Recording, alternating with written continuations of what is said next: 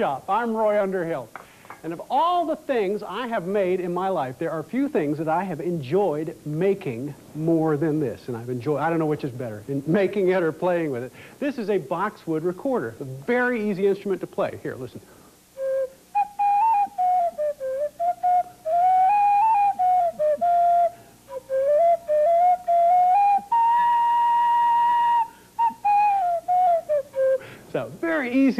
To play. So this is what instrument that a lot of people begin on. It's also a good instrument to begin learning how to make wind instruments, but it's not all that easy, as you will see.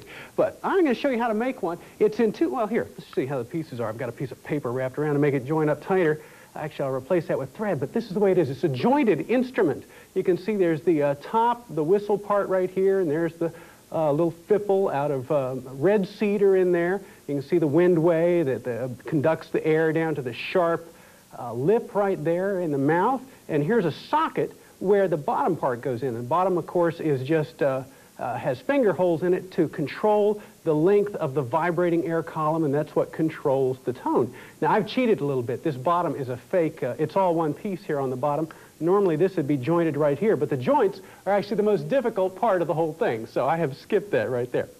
So, how do we begin? Well, you got to go find the wood. This is boxwood. If you know boxwood, it's that ornamental um, uh, bush that there's English and American box, but they both got uh, leaves on them the size of a mouse's ear, evergreen, and uh, it's, well, here, here's a piece. You'll recognize it when you see it. It's uh, soft green leaves, little uh, bark, very scaly, but light colored. You can see this piece right here, very, very dense cream colored wood like ivory. Now this piece is almost 100 years old and it's dried for about eight years. Now this is exactly what you want. You can get this beautiful uh, look to it. This is, in fact, this is the blank that I would turn the uh, top piece out of for this recorder, but it's very, very hard wood and difficult to work. Not a good one for the first time recorder maker. So what else could you look for?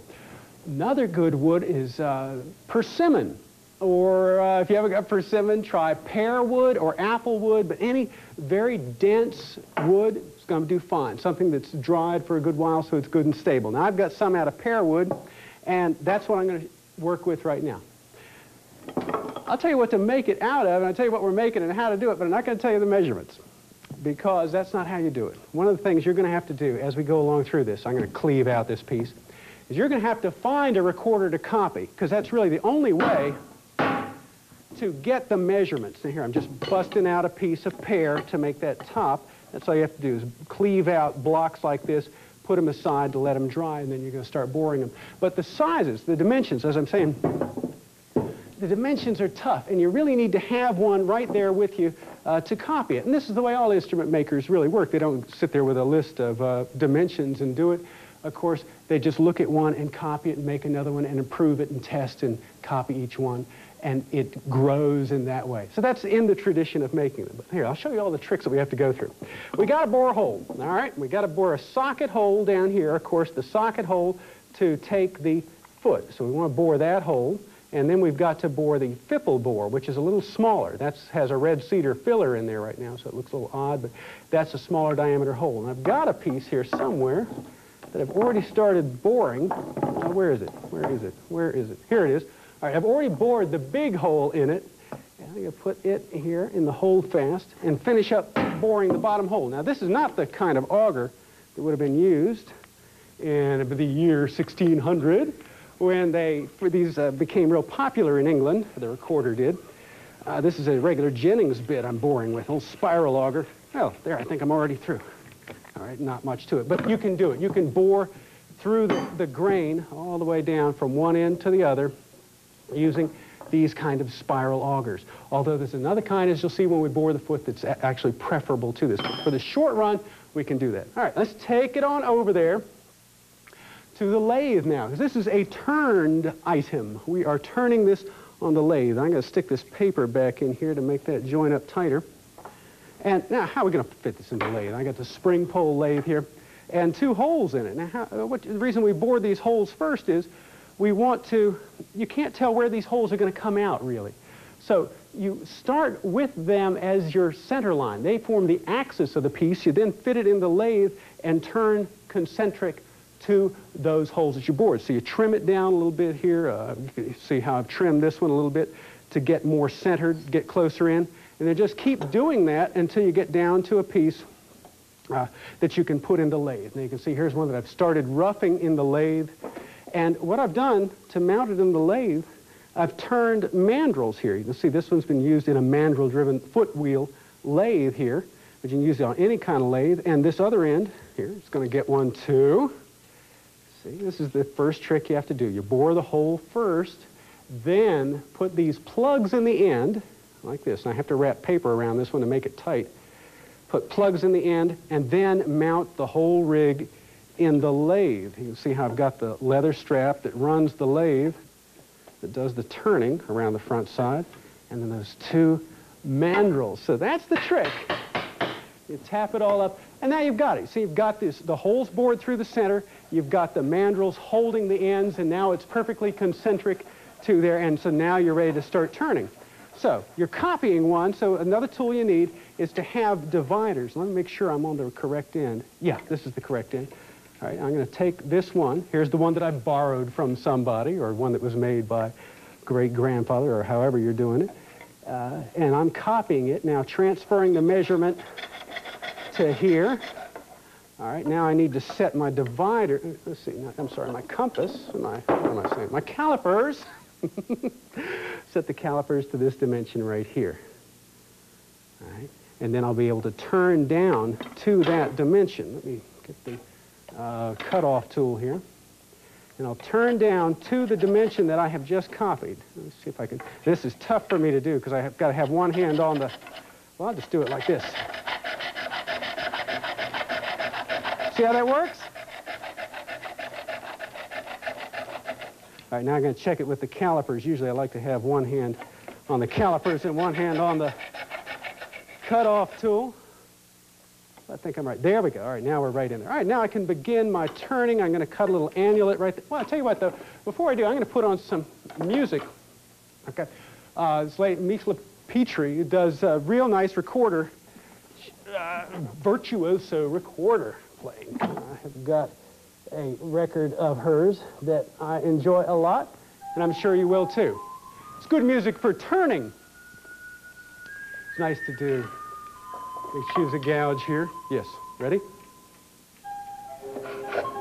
There you go. So now I'm just copying this right here, copying this section. I'll need both hands to do it though. Nice.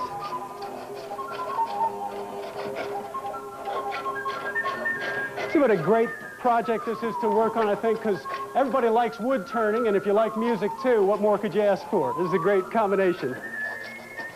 Oops, don't turn your head while you're doing this.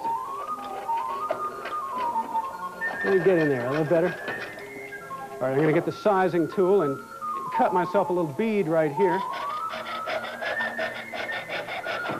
Or, you know, rough out the bead.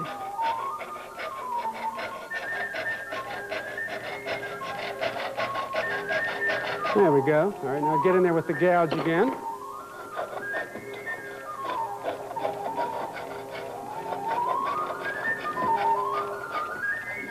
There we go.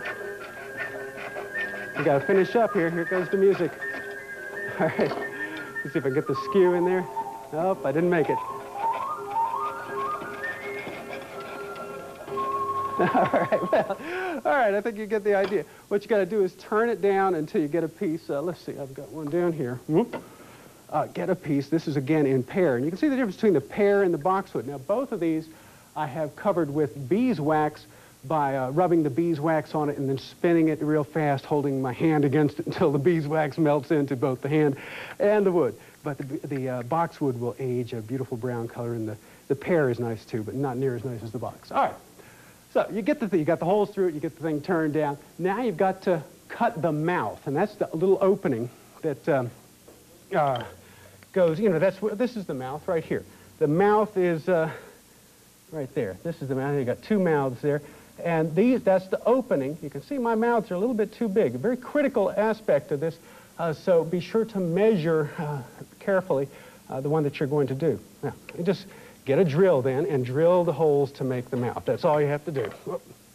And the way I'm going to hold this, too, I've got a neat little thing here. I've got a kind of a foot-operated uh, rope that holds the stuff down. See, it grabs and holds it down real tight up on top. Ah! See? All right. This is a scrap piece here. This is one that I trashed earlier, I messed up. I'm not going to be able to use, so I'm going to go ahead and cut the mouth and do the work on this because it's, it's rough. You've got to really take care with this thing, but I know you'll enjoy it. Uh, and it's easier, easier to do when you've got one there and just copy it. But you'll see there are a lot of tricks coming up that you have to go through. And things you may not notice, subtleties to this. Uh, the fellow uh, writing about this, an amateur wind instrument maker, uh, saying this is really one of the most difficult instruments to make well. So that'd be a lesson to you. All right, two holes cut into it right there to make the mouth, and just chisel it square, make the rectangular mouth copying the one that you have borrowed or rented. You could get an instrument store to rent you one. And, uh, you could get antique ones. You can get into it. What's neat is you make one, and then you can always just make them better. There's so much to this. And pretty soon you'll graduate to making other instruments. Now this one, I could say I trashed it. This is, I broke it. That does not make it a Baroque recorder. It is a broken recorder. There you are. So there's the mouth. There's the mouth opening. All right. Not bad. Not bad. Now, the mouth opening is just one of the rectangular holes. We've got another one that we have to cut, which is uh, the windway. And I think you can see, yeah, here, you can see the windway in this one right here. It's a rectangular slot there on the bottom of the tube. It's a little hard to see because it's dark inside there, but it's a rectangular slot that leads up to the mouth. So that, let me show you on the boxwood one as well. Here, I'll pop that off the, uh, you can see there's a rectangular slot on top of the fipple that leads up to the uh, uh, mouth there. And you can see the light coming through the mouth right there. You can't on this one. But you've got to chisel that in there now. Again, very, very careful work. You have to have a sharp chisel in order to do this. You need a chisel that's the same width as the uh, mouth opening. So you can do it in one go. Now here I've got one uh, set up, ready to go. Here, I've got the mouth already cut in this one. And very, very carefully, you can see, see the mouth there.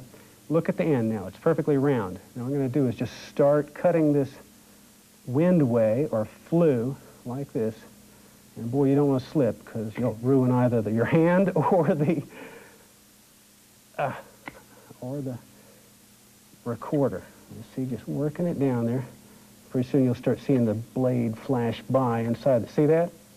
That's how you do it. You got to chisel that slot all the way down the top. You do it enough to make a flat slot, because even though you're boring a round hole for that, as most holes that you bore are, uh, you for the fipple, which is the filler piece in there, you've got to have a rectangular section where that goes through the. Now just hold the chisel steady and slide the recorder down onto it. See how that works? It takes a lot of pressure particularly in the boxwood, to have the kind of control that you need. But you've got to get it flat all the way down on there. All right, let's see what we've got here. I don't know if you can see inside there, but you can see I'm cutting a, like a keyway, I guess, in mechanics. You can see a slot going down to meet the mouth. Now, come around from the back side now and flatten out the roundness on the other side of the mouth. You just cut just enough to take the roundness out. You can, again, see the blade flashing by there. You've got to just take that roundness out just enough to do it. All right. Very nerve-wracking, but easy enough to do once you get into it. All right, so cut that mouth down there. I think I've got it. All right. Now, having gotten this far and not trashed it, you've got an easy thing to do. You've got to turn the fipple. Now, you've got a technical problem, though. Here's a, the fipple wood inside the uh, uh, whistle part. And what happens, you know, when you play these things, of course, there's a lot of moisture involved. Is it's just the way people are. And what would happen if this started absorbing moisture and started swelling? Of course, it would crack this thing open like an exploding uh, boiled egg or something like that. It, you'd ruin the whole thing. And it would indeed be a broken uh, recorder. So you have to choose the right kind of wood for down here. I don't know if you can see what that is. Let me get another piece of it. Here, you see what kind of wood that is? This is red cedar. You could smell it if you had smell-o-vision.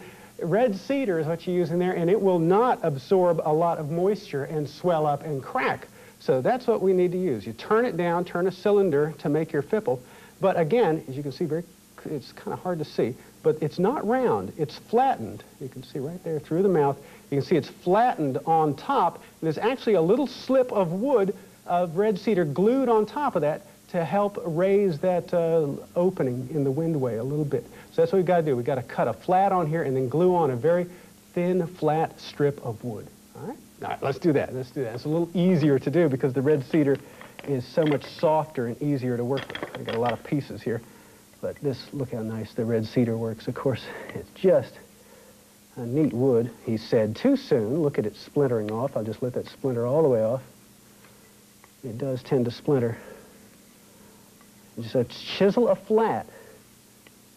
This is the recorder. I don't know where the name recorder came from. It sure is a neat instrument.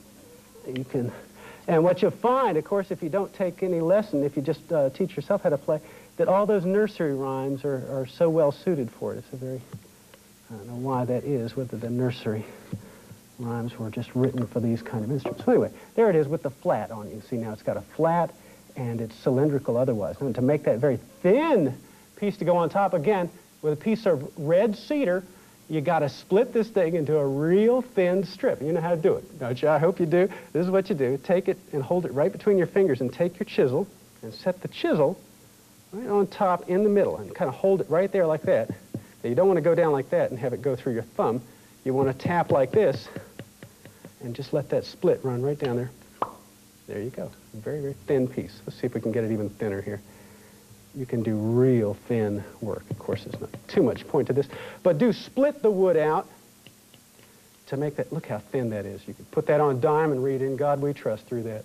That's something. You take that and then glue that to the top of this piece, and that is your fipple is complete. There you are. Let me see, I've got a finished one here. A finished fipple back here. A very thin strip of wood glued on there. That's the way it looks when you're all, all done.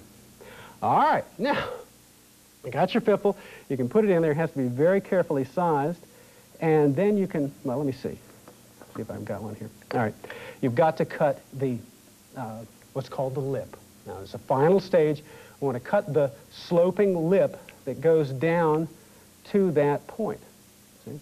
I haven't got that little slope that makes this sharp edge there. So I'm going to move this one out of the holder, put this one in, and cut that final thing. Then we'll put the fipple in and see how it plays. See how it plays. Now, I hope I can. Got to have a real sharp chisel. If your chisel is not sharp and you tear this thing up, because here is where you've got to have a sharp ending. You can't have any kind of fuzziness to your work at all. Set this on the side. So here's the critical point. Everything you've been doing is leading up to this. You mess up here, it's ruined forever. You have to turn it in. No, you don't. You just go start again. And if you do mess up, really, uh, do something that makes you feel good in, between. I, have messed up enough times to know that you've got to reward yourself. Do something that you'll know you succeed because then you can build on that. You uh, think of at least you've succeeded in getting this far. But don't feel bad. Here's you have to be careful though. Get that right down good and sharp and sharp right to that point. And then stop, because if you enlarge that too much, I'm getting a little sloppy here, but that's how you have to do it.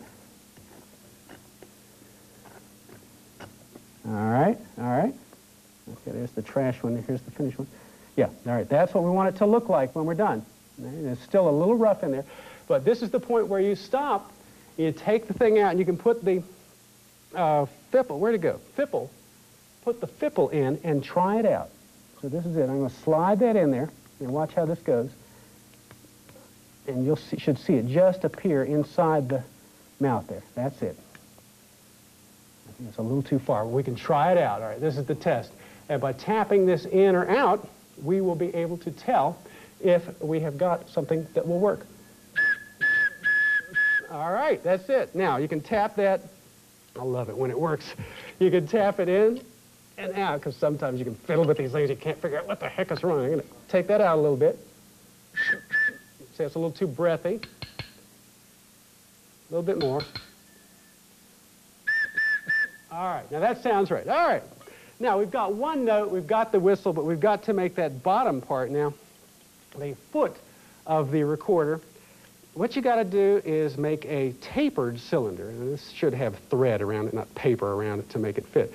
But that's going to fit into that whistle now. So we're going to make this bottom part. And it has a tapered uh, hollow inside it going down to the end. So what we'll do, it's also too long to bore at one go, so what we will do is actually put this in the lathe and bore the hole in the lathe using the oldest trick in the woodturner's book. A neat thing that you can do is called, uh, I don't know what you call it, but it's uh, using a hollow center to bore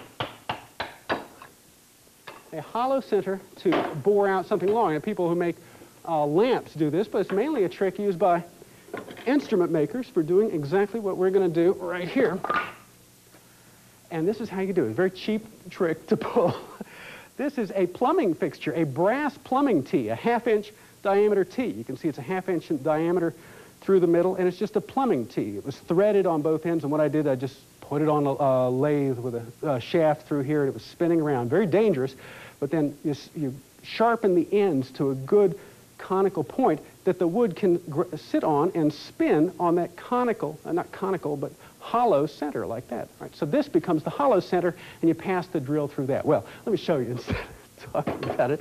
But it's an old trick, and it works real well. So, of course, all you have to do is take your pear or boxwood piece that you want, rough it out, and you put it in the lathe like this. And here you can see how that center is going to engage. See how the, the center just sits right in there.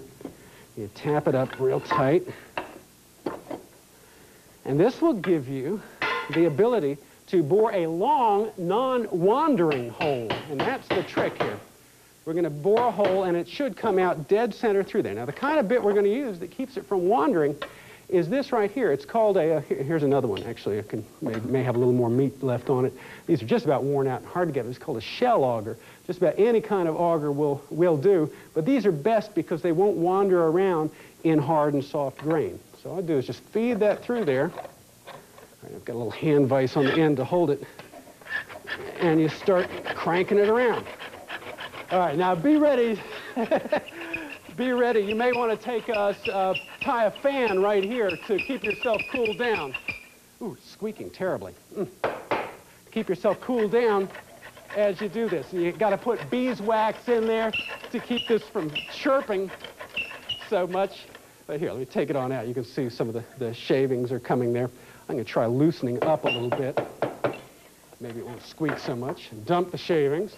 But this kind of auger will go a long way. Oh, ooh, that's terrible. Oh, oh. That's, that's worse than the worst uh, uh, playing you can do. That just needs beeswax in there to make that stop. What you do next then is uh, take longer and longer augers and work your way on down. Let me try that back and see if indeed that was the problem. You always, yeah, hear it now? You don't hear it now, do you? All right. So you take the auger and just keep working down. It takes a while. And if you have a flywheel lathe or any other kind of lathe, it'll go very, very fast. And of course, you want to be careful. Uh, any lathe can really hurt you. So always keep your head off to the side so if it flies out, you don't get clobbered by something flying out of the lathe and knocking you one. All right, let's see how much boring it's done here. You see, yeah, see, it's cutting its way on in there. So you just keep at that, keep it at it, and pretty soon you'll be down as far as you can reach with this. All right, then, because it's a tapered auger, you use a series of bits. Here would be the next one. This is an electrician's bit, and you work it down inside there after you've done the other one.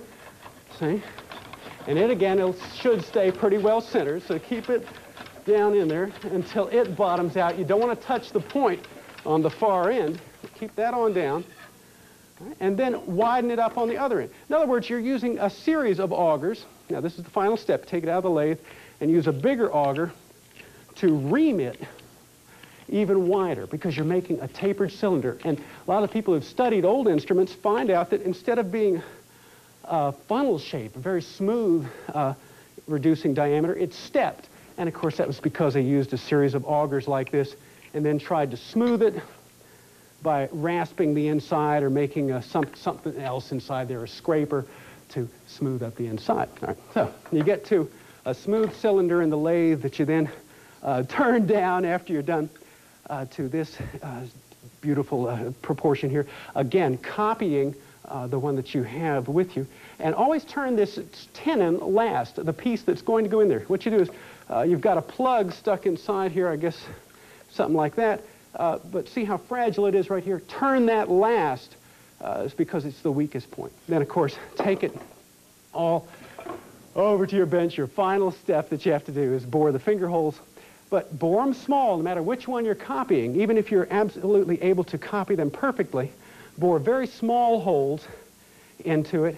And then, starting at the bottom, enlarge them because that lowers the note a little bit. Anyway, you have to just work your way up and do it bit by bit. Well, I'm sure you're going to enjoy making it as much as I have, and I sure appreciate you joining me. I hope to see you again next time here in the Woodwright Shop. This is Roy Underhill. So long.